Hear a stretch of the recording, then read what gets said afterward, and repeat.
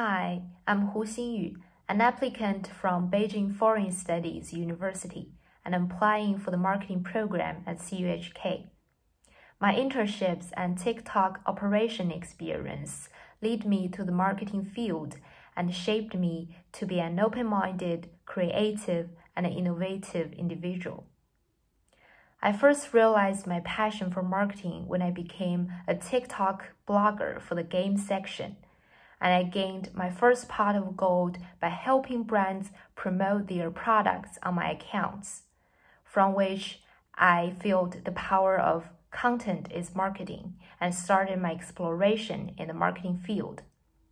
Later, I realized the importance of data analytics as part of marketing strategies when I operated the game category of a live streaming app at ByteDance.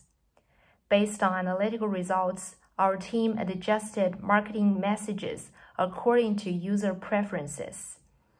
Additionally, I involved in international market and acquired a global mindset in this internship. My past experience inspired me to pursue a career as an all-round marketer, both capable of understanding customers and telling convincing brand stories.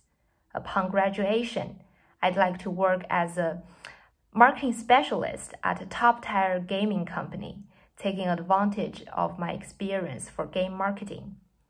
In the long term, I aim to establish my own brand in the game industry. I believe CUHK is a perfect platform for me to hone my professional skills and prepare me for the future goals and it would be my honor to be admitted to this program.